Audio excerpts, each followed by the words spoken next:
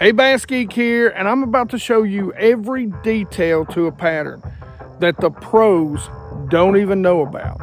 They think it's just smallmouth, but it works with largemouth too.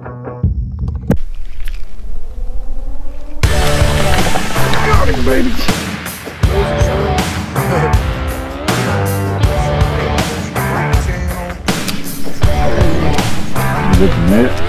Uh-oh. Did we find something?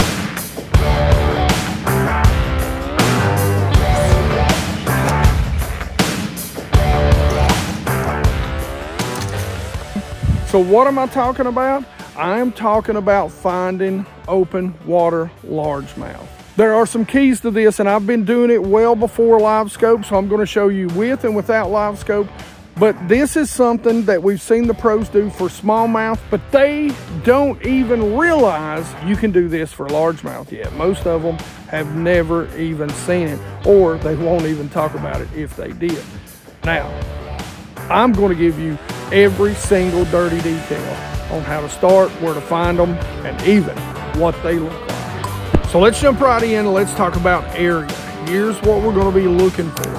I like to find resident bass. I don't generally go out to the main lake for this, but I'm looking in the first half to the first third of major creek arms. That allows me to find areas that are a little more pinched down. So, you know, pinch points. What I'm going to be looking for is going to be channel swings, but channel swings with good spawning areas somewhere close, very close by. So in my area, my lakes, they drop the lake 35, roughly 30, 35 feet.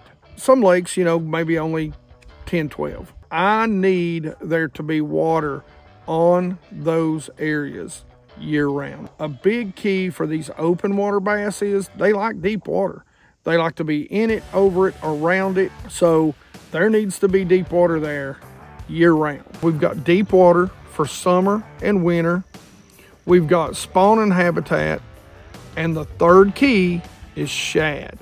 This is gonna start right after the shad spawn. Once the shad spawn are done, they're gonna move out, they're gonna group up, and the bass are gonna come with them. Very first key is going to be broken up balls of shad. I do not want big, giant schools of shad.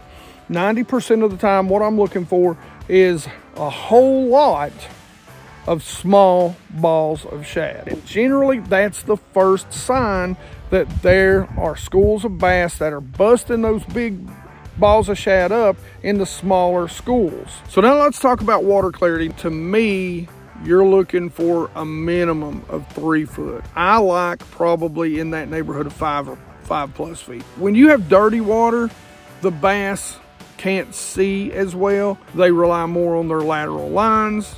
They stay closer to breaks and contour lines. In clear water, they can see for a long way and they don't mind being out in the middle of the lake.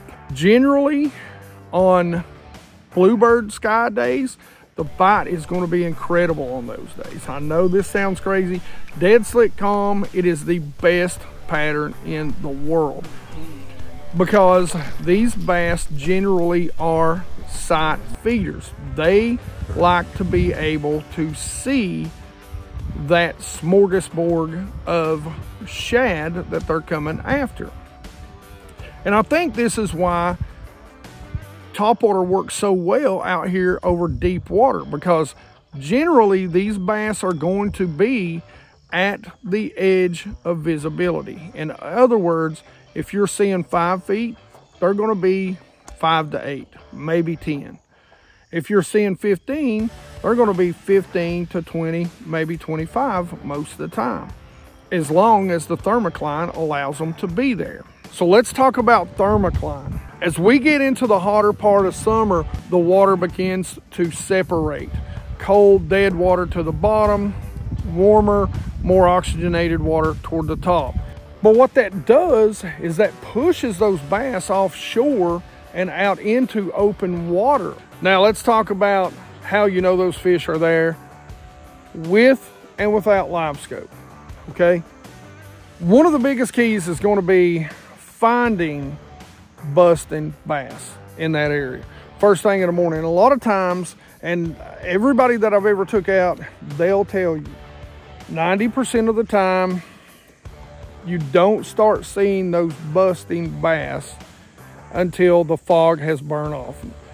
So a lot of times you're not going to see it until like 7, 7.30, 8 o'clock.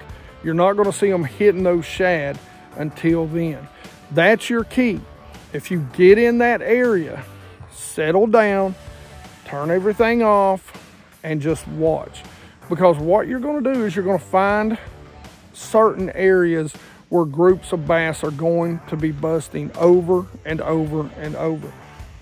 And at that point, it's kind of a patience waiting game. Have your baits at the ready and get out there and just fan cast around. You'll get a lot of bites. You will not believe how many one bass chasing a of shad this big is what's busting out there. So it's not always a school. So I'm not chasing unless there's three busts because 90% of the time the same bass the same bass is not going to go paw paw paw right? It's not going to be the same bass. It's going to be multiple bass doing that. Get to them quickly all right? Throw right on their head. When you put that live scope down when it comes to largemouth, smallmouth and spotted bass, if there's one bass chasing a ball of shad, well, spots and smallmouth, they're always pissed off, right? So you can throw over there and maybe get that one to bite.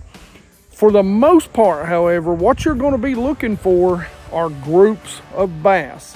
And I'm going to give you a little kind of percentage. I mean, yeah, it's not perfect, but when it comes to largemouth, if a largemouth is sitting in front of a 10 by 10 ball of shad by himself, why does he want to take a chance of eating anything else? He's got a buffet of everything he wants, right? So he's not going to be concerned about your bait or chasing a topwater. If you see one bass out there by itself, you probably got a one in 100. I'd say maybe even a one in 200 shot if it's a largemouth catching it. It's going to be hard. Don't waste your time. Do not waste your time. If you see two, you might have a one in 90 or a one in 150, whatever, however you want to do it. It's, it's almost going to be impossible. Now, if you see three, but they've got to be grouped up really tight. That's the deal. No separation you might have a 50-50 shot of catching one of them, right? What you want is what I call the line of tic tacs. I'm gonna borrow that from my buddy Christian Nichols. He was the one that kind of came up with it. That's what you're looking for. And it is gonna be a group. And I'll tell you, they'll be so tightly packed together that you will not know how many is there. And there's gonna be a lot more than what you think.